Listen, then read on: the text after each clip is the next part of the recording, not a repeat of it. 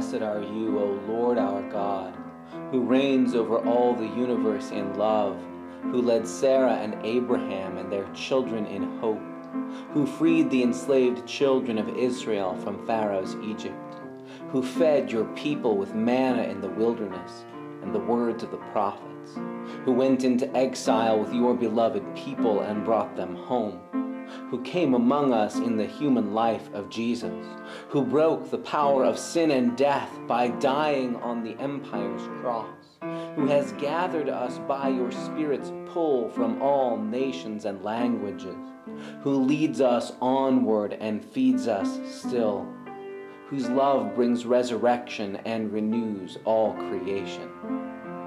Blessed are you, O Lord our God. Blessed are you.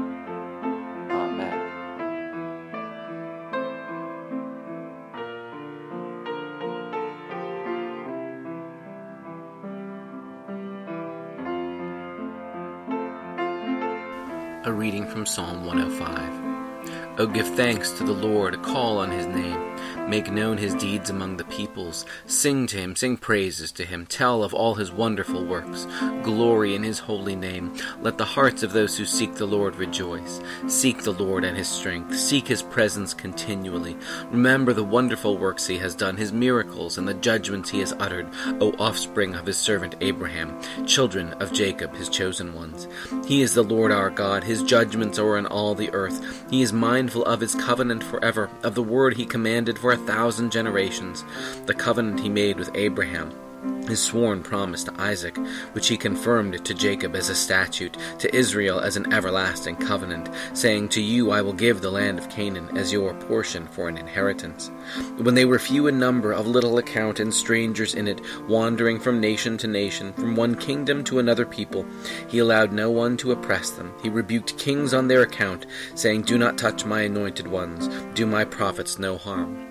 Then he brought Israel out with silver and gold, and there was no one among their tribes who stumbled.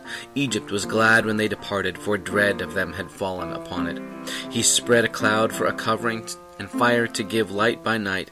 They asked, and he brought quails. He gave them food from heaven in abundance. He opened the rock, and water gushed out. It flowed through the desert like a river. For he remembered his holy promise, and Abraham his servant.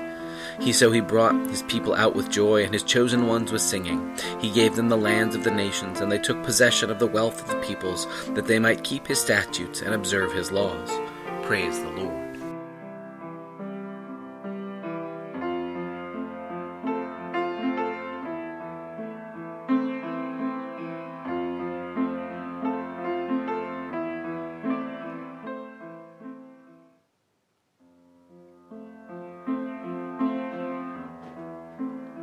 Father, who art in heaven, hallowed be thy name. Thy kingdom come, thy will be done on earth as it is in heaven. Give us this day our daily bread, and forgive us our trespasses, as we forgive those who trespass against us. And lead us not into temptation, but deliver us from evil. For thine is the kingdom, and the power, and the glory, forever and ever.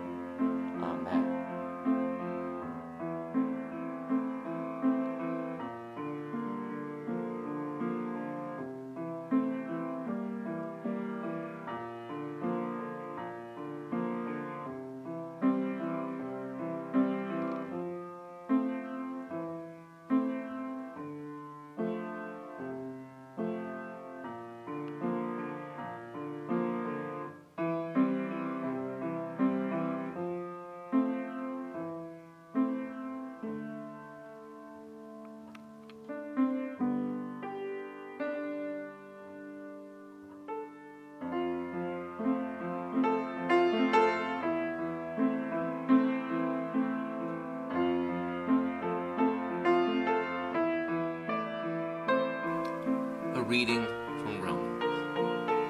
Therefore, since we are justified by faith, we have peace with God through our Lord Jesus Christ, through whom we have obtained access to this grace in which we stand.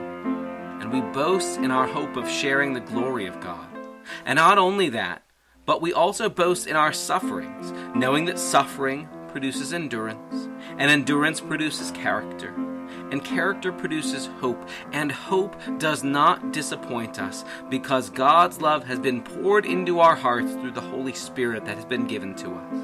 For while we were still weak, at the right time Christ died for the ungodly. Indeed, rarely will anyone die for a righteous person, though perhaps for a good person someone might actually dare to die. But God proves his love for us, in that while we were still sinners, Christ died for us.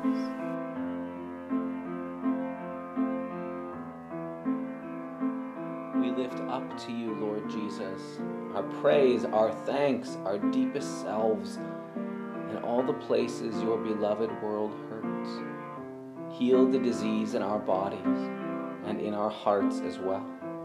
Where we are coldly indifferent, hold us in the fire of your love. Where hatred infects us, remove its poison. Where we are bent in on self, turn us outward to you and our neighbor. Where we are dead inside, call us back to life, that we might be your wounded hands and feet raised up for your work to make all things new.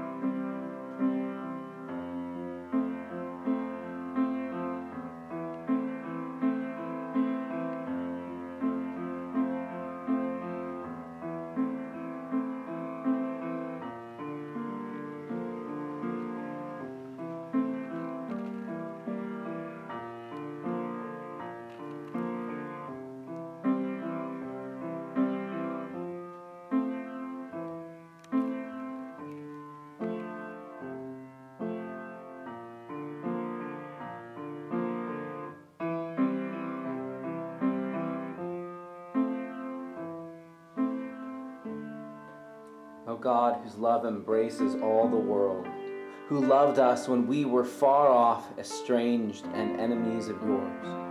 Come and be our help. We struggle to love others. We have been hurt and wounded. We are upset at those who have harmed us or those we care about. We struggle with bitterness inside our hearts, and we wrestle with how your justice and mercy can meet in all this mess. Help us. Help me, a child of yours, whom your love still seeks and claims when I am turned away from you. To seek good for all people, even those I most struggle with, those I have trouble accepting, and those I fail to love. I pray not for their victory over me or mine over them, but for you to win over us all, for your will to be done in and through and among us leading us into that promised day when lambs and wolves lie down together. Weapons are beaten into plowshares, and bitter enemies can be reconciled in your fierce, relentless love.